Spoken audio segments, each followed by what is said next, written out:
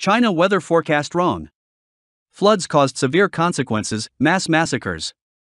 Beijing, July 20th. The terrible flood disaster in the past days in Guangdong Province, eastern China has caused heavy loss of life and property, with at least 133 people killed and direct economic losses.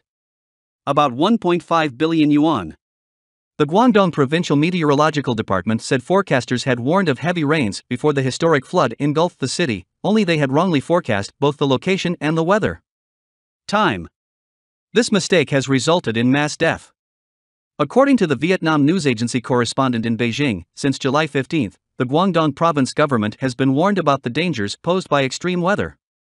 However, weather forecasters say that the heaviest rain will occur on July 19 in Tu a town located at the foot of Tai Han Sun Mountain, with up to 500 millimeters of rain, threatening causing flooding in some low-lying areas here. Meanwhile, the location of heavy rain is about 100 kilometers south of Xiaozhua. However, the reality was quite the opposite.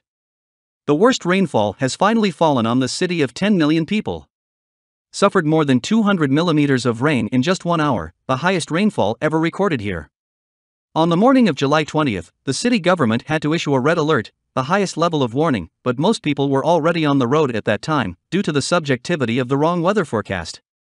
This is a fatal mistake.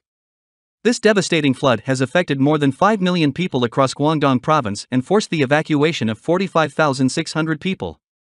255 villages in the province face high risk in the worst flooding in the province in more than 50 years.